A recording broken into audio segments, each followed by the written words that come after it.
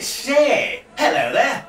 Now, whether it's cold outside, tea time, or in bed with that someone special, steady, or hiding out in the loo, any time is a great time to read a romance novel by Maisey Yates, my favourite USA Today best-selling romance writer of sexy chicks and cocky cowboys.